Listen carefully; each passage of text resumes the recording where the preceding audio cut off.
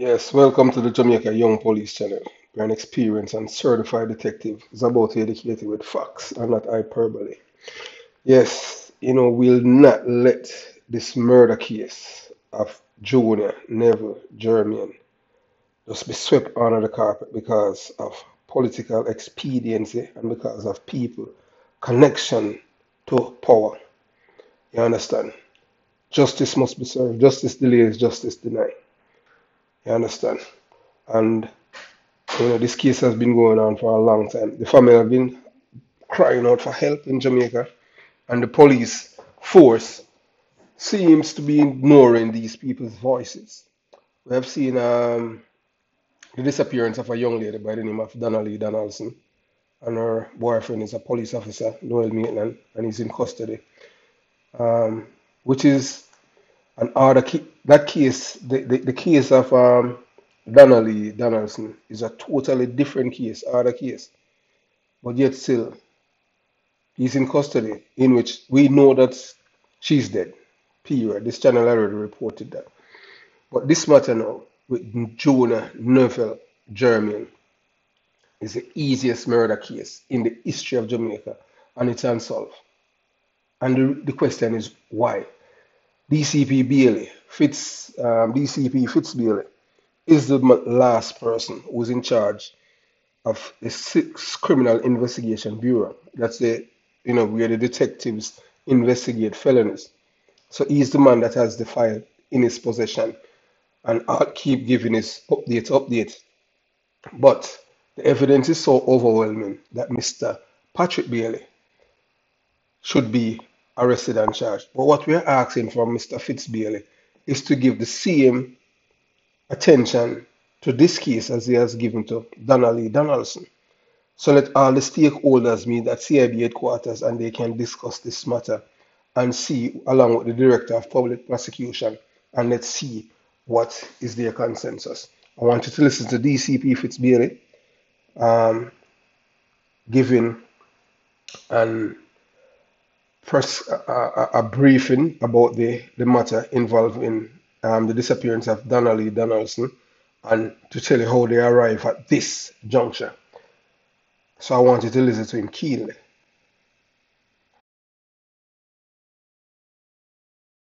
as the investigation into the disappearance of Miss Donna-Lee Donaldson intensify, on Tuesday the 26th of July, a case review was held at the CIB headquarters between the hours of 4.30 and 10 p.m.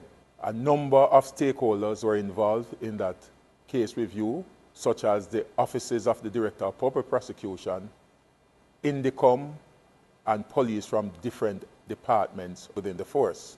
As a result of the case review, it was agreed that there was adequate evidence to link Constable Noel Maitland to the disappearance of uh, Miss Donaldson. On Wednesday, the 27th of July, Constable Noel Maitland was arrested on Duke Street by police officers assigned to the Counterterrorism and Organized Crime Division. He was placed in custody pending further investigation.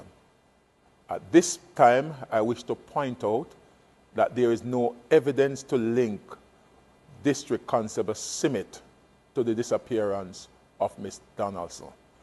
Further information will be made available in subsequent release.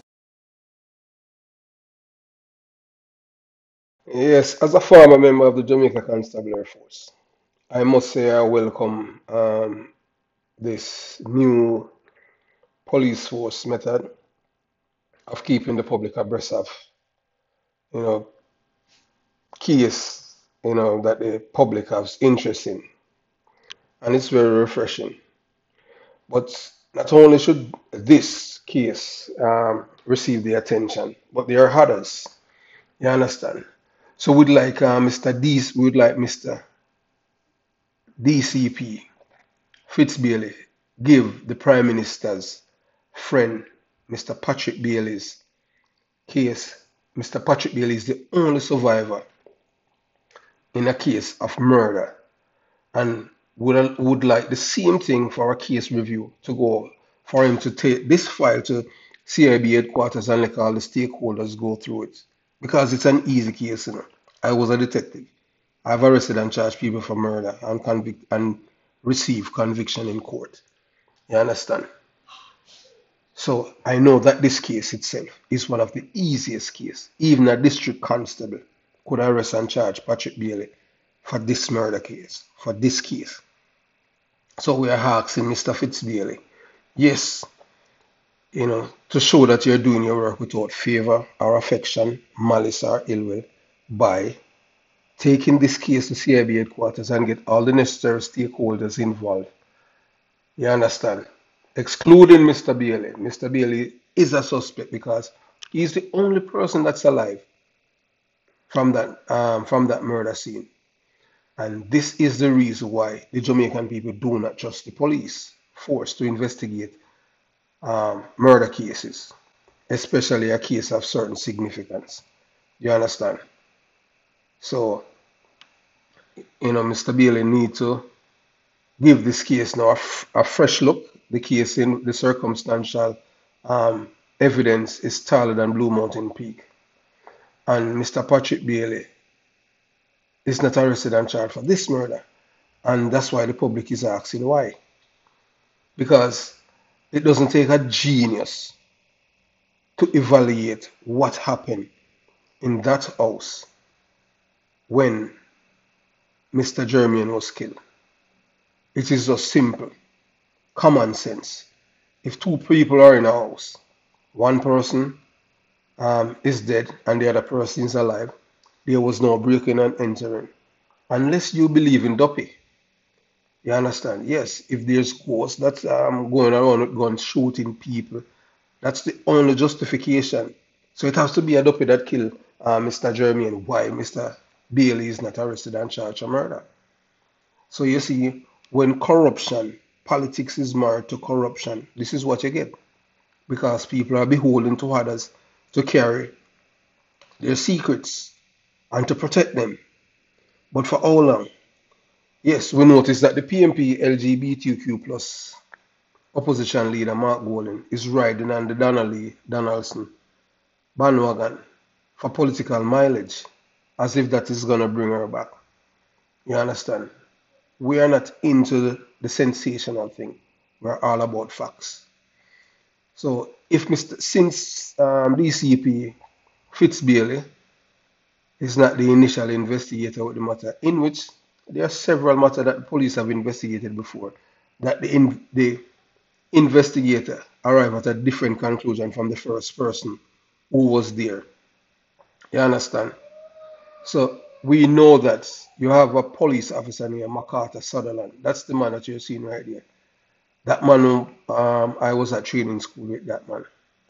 Very brilliant um, investigator. One thing with him, he's not corrupt. I can tell you of all of the the gazette officers that are in the police force, he's not corrupt. I can tell you again. Um, Emford Wade is not a corrupt gazette officer. Norman Sticky Hamilton is not a corrupt officer. I don't know if Wayne Clark is still serving. He's not a corrupt police officer. Um, Sharon to use my squad, is not a corrupt officer. Lloyd Darby. And I, you know, there's, but I know that there are, I know two deputy commission, three deputy commissioner of police that they could not even carry, carry a message for me. You understand? MacArthur Sutherland, when they're talking about the police force doesn't have qualified members to be commissioner of police. This is the man. This is the man that is not beholden to anyone. Yes, and the reason why I'm saying that, because you know, when you work on the streets as a detective, you will hear things about other police officers, irrespective of their, their, their jurisdiction where they work. And this is a man with an impeccable character, MacArthur Sutherland. Yes, I have never worked with the man. The only time I have interacted with him is when he was at the Jamaica Police Academy when I was there as a cadet. But I can tell you that this man, MacArthur Sutherland, is not your ordinary police officer that you can corrupt. You understand? MacArthur Sutherland should be at least a deputy commissioner of police or the commissioner of police. But in case you do not know that the Jamaican elites and the political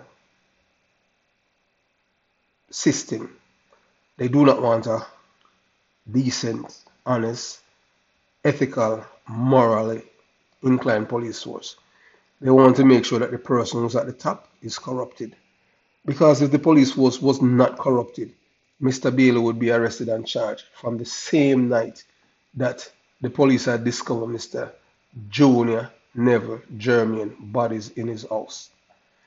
And it seems like justice is not only delayed in this matter, but it's denied. Mr. Bailey should have faced the music from that night.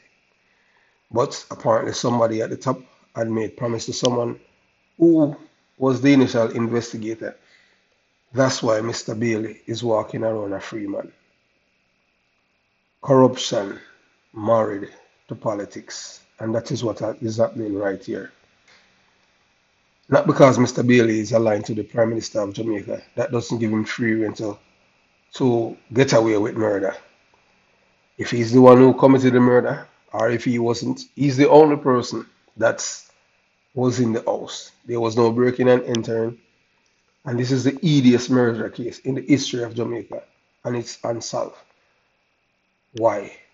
Mr. Patrick Bailey needs to face justice. DCP Fitz Bailey, it's time for you to take the case down to CIB headquarters and get all the necessary stakeholder involved. And then give us a press conference or it seems like the people will have to demonstrate down here in Jamaica, as they have done in Noel Maitland's case. Or the family of Mr.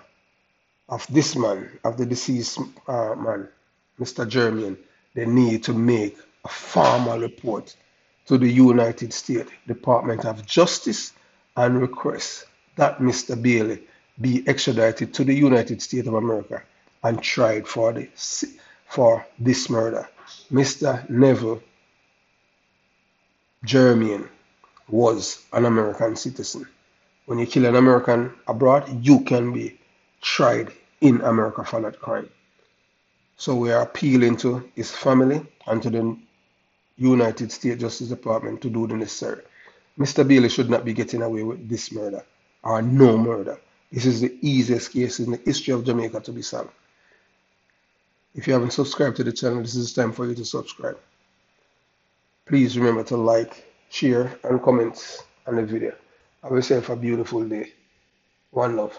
Peace.